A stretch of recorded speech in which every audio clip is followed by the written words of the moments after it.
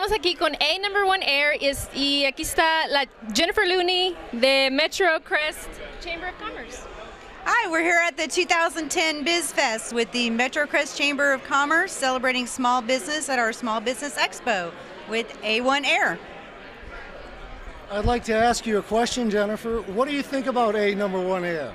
They're cool. How about in the winter? They're hot. We're really excited about being here, uh, sponsoring the MetroCrest Chamber of Commerce. Uh, on behalf of James and Sherry Green at A Number One Air, we're excited. We also salute MetroCrest Chamber of Commerce. Thank you for having us here. Absolutely, we're having a lot of fun. Thank you. Hola, estamos aquí en el Biz Fest de A Number One Air y estamos aquí con el ganador del premio ah, de hoy. Este se llama Javier y ¿cómo, se sientes de, eh, cómo te sientes de ganar hoy?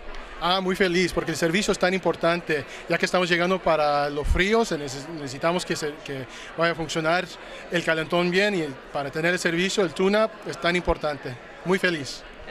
¿Y lo recomendarías a la comunidad hispana, a tu, fam- a tu familia, a, a- a tus amigos?